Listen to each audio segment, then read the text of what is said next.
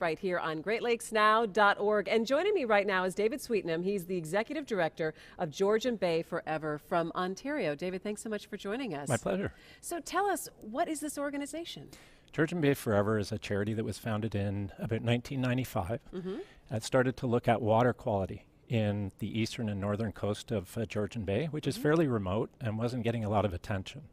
Um, a lot of cottagers and the, the communities up there really wanted to see what was happening to the water quality. Mm-hmm. And so we started off doing, uh, really designing the water quality monitoring programs that would be put in place there. That's evolved over the years because one of the big things that's impacted water quality in those areas in the coastal embayments is actually the low water levels that hit. Mm-hmm. And so for the past 13 years, that link between water quality and water quantity has been the main focus for our organization. So, whenever I talk to anybody from organizations having to deal with Great Lakes causes, I always know that there's a story behind why people get involved in advocating for the lakes and advocating for the cleanliness of the areas. I guess what's your story or your connection to the water that has made you so passionate about this? When I was uh, 16, I went to summer camp on Georgian Bay, but at 17, I actually worked in the national park as part of the uh, junior warden program. Really?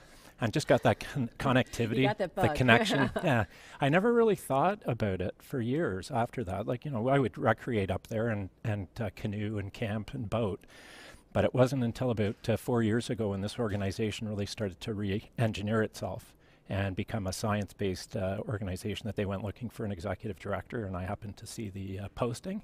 Mm-hmm. I thought, well, Georgian Bay, I'm up there all the time anyway. I could actually get paid to go out and uh, and protect the environment. So that's that's when I started working with the organization. A major connection too for, for so many people when you can kind of meet them at that level of the love of the lakes and, and, and being able to use them. Water quality and the cleanliness of the water is so important um, to many people. How do you go about in getting your message out there? that's a difficult thing. Um, even after an intensive period of time, the uh, district of Muskoka up in, in that area uh, spent a lot of money on radio advertisements and print advertisements.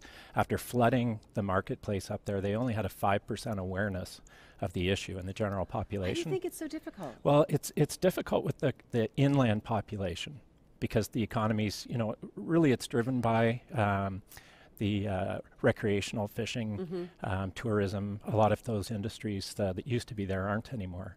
But the coastal community has a very high awareness of this. The people that are out in, in water see access only communities, mm-hmm. they see it, they live with it, they have a hard time getting to their cottages now, et cetera. So it's very easy.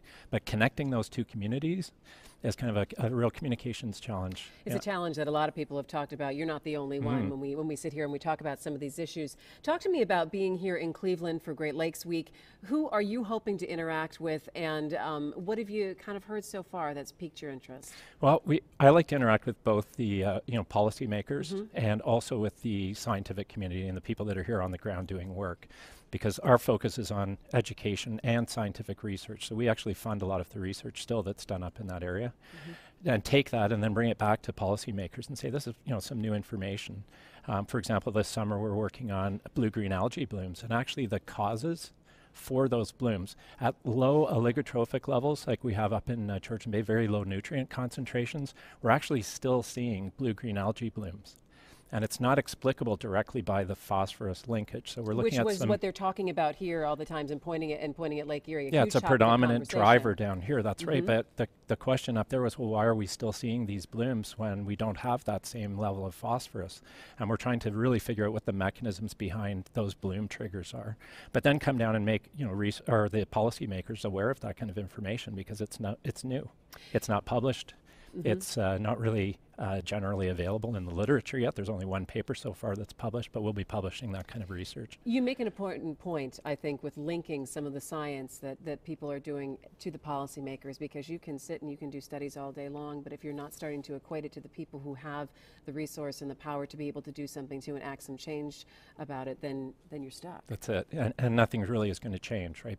People will still be applying the same models and the same way of solving, uh, you know, the problems and they won't have this new information that really shows them that there might need to be some differences, uh, different approaches put in place. So have you been able to, um, I guess, experience some of the coordination between the U.S. government and the Canadian government? Again, sometimes we take for granted that we're along the Great Lakes Basin and we think just the U.S., but no. we know our friends in Canada, oh, yeah. that it affects you as, as well. Yeah, no, much. absolutely. In fact, some of the most uh, uh, high-level environmentalists I've ever met are actually working on the front lines for the Canadian government and the uh, provincial government.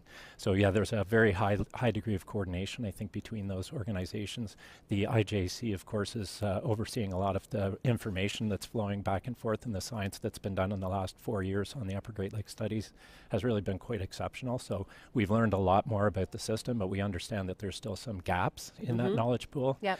And with the economic environment being what it is, you know, a charity like ourselves is actually a source of funding for these research projects. So we can look at it, do a gap analysis, figure out what's missing, and then come as a partner to the table with some money and say, look, we'll actually fund some of these research uh, studies that need to be done to advise the policy in a little better way. So Great thing to point out. We had talked about this earlier on today when we talk about funding for restoration and, and, and to troubleshoot some of the problems. We talk a lot about the government funding and maybe don't spend enough time talking about the foundations and the charities and some of the companies that do step up and say, hey, we're willing to give some dollars to clean up as well. Yeah, absolutely. Some of the biggest funding that we've received has been from uh, the, the RBC and the uh, Blue Water Fund, for example.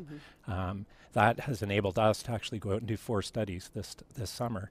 Those four studies, it's more research than's be, than is being done at the uh, provincial or the uh, the federal level in Georgian Bay right now. So we're actually the primary source of information that's flowing out of that region, and that is important for us to kind of bring to the table and make sure we communicate that effectively. So as a young organization, you know, really, we're just trying to to uh, provide our value and make that value proposition to the partners that we have with the federal governments on both sides of the border, the institutions like the IJC, and then the actual agencies that are on the ground. The second thing about coming here is great to connect with some of the other on the ground uh, organizations and see what kind of challenges lay before us. For example, in Georgian Bay, when the water levels have declined, we've had a loss of coastal wetlands. So I was just at a seminar a minute ago, uh, or five minutes ago now, um, where they were actually talking about how they had some success with diking wetlands for a couple of years, draining the down, letting them reconstitute themselves, and then reconnecting them hydrologically. But where we are in Georgian Bay, attempting, there's no dredge sediments. We can't. Uh, it's hard, hard bedrock and it drops off quite precipitously. So applying those techniques doesn't work, and we don't necessarily want to have to come in and be pouring concrete dikes and so on. So trying to figure out how do we deal with that kind of a challenge when those coastal wetlands have reduced the fish habitat. We'd really like to recreate that fish habitat and help uh, northern pike come back in some places that have largely disappeared. How do we actually go about doing that? So I threw that challenge out, and people are going, "Yeah, that's a really you know, That's- that's good question. Well- let's uh, let's try to figure out a way of looking at that." And Yeah. yeah, so those connections I think are really important for this kind of uh, event for us too. Well, David Sweetnam, good luck and congratulations on the success you've had so far. And I know that you have much more work ahead of Thank you, we Thanks for joining us and great.